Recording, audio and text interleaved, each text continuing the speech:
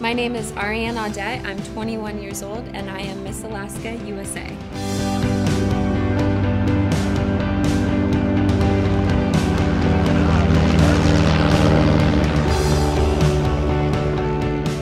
This year has gone by so fast, so I've been trying to enjoy every little moment. If I was to win Miss USA, I can imagine that I would be incredibly busy. I'm trying to balance working a full-time job and being a full-time student. I love to get involved as much as I can in issues that are important to me. From my understanding, that's what Miss USA does. That's who I am, and that's what I plan to continue to do as Miss USA.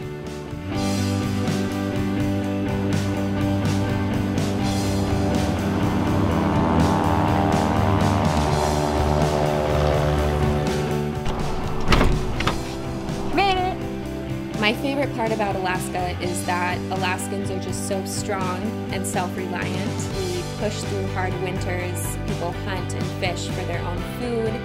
That strength that comes from living in Alaska really carries into my life in pageantry. It's really taught me to push through even when things get difficult. I really want to be confident and sure in myself, but still be humble and remember where I'm coming from.